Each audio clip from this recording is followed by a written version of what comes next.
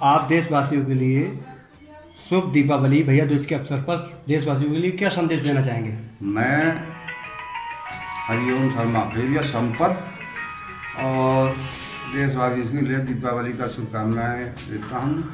और मैं ये कहना चाहूँगा सभी लोग सुख शांति से त्यौहार मनाएँ। विवाद से दूर रहें।